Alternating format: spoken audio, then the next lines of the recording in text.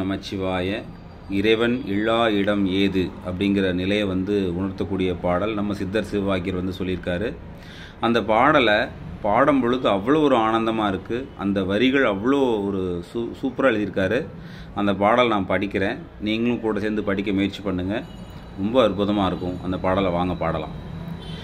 மண்ணும் நீ விண்ணும் நீ மறிகடல் ஏழும் நீ என்னும் நீ எழுத்தும் நீ இசைந்த பண் எழுத்தும் நீ கண்ணும் நீ மணியும் நீ கண்ணுள் ஆடும் பாவை நீ நன்னும் நீர்மை நின்ற பாதம் நன்னுமாறு அருளிவிடாய் நன்னும் நீர்மை நின்ற பாதம் நன்னுமாறு அருளிவிடாய் ஓம் நம சிவாய ஓம் ஓம் நம சிவாய ஓம் நம சிவாய ஓம் ஓம் நம